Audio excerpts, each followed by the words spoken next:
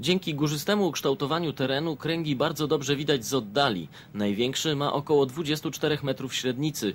Jest także najstaranniej wykonany. Kilkadziesiąt metrów dalej jest następny, najmniejszy z całej trójki.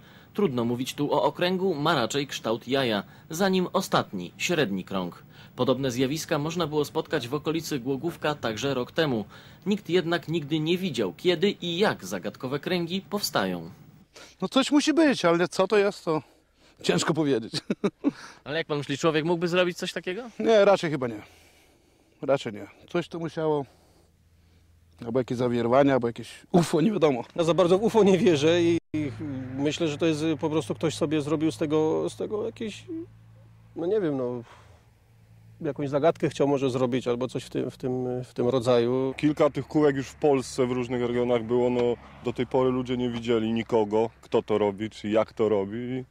No ciężko coś na ten temat w ogóle powiedzieć, ale coś w tym musi być, jakieś pola magnetyczne, jeżeli no wchodzą ludzie z komórką, komórka się wyłącza, takie no... Coś musi w tym być, ale trudno powiedzieć, to, to już naukowcy powinni to dojść do tego, Postanowiliśmy być pierwsi przed naukowcami i przyjrzeliśmy się bliżej okręgom.